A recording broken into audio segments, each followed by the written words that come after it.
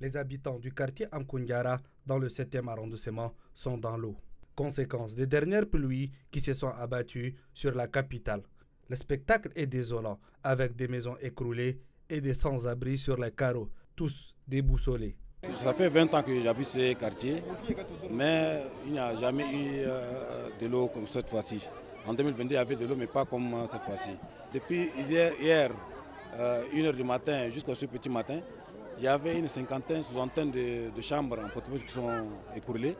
La nuit filant, mais à la première heure de la journée, débarquant de soutien, le maire de la ville de N'Djamena, Barchire Fatime Douga et toute une équipe de la police municipale et des génies militaires sont sur place pour aider ces sinistrés. Aujourd'hui, c'est dans tout le Tchad.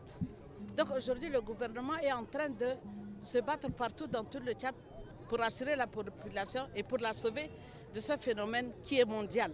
Comme première solution envisagée, l'évacuation de ces sinistrés. Mais en attendant, la mairie envisage de les délocaliser temporairement à l'école Ibrahim Mamatitno de Farsha.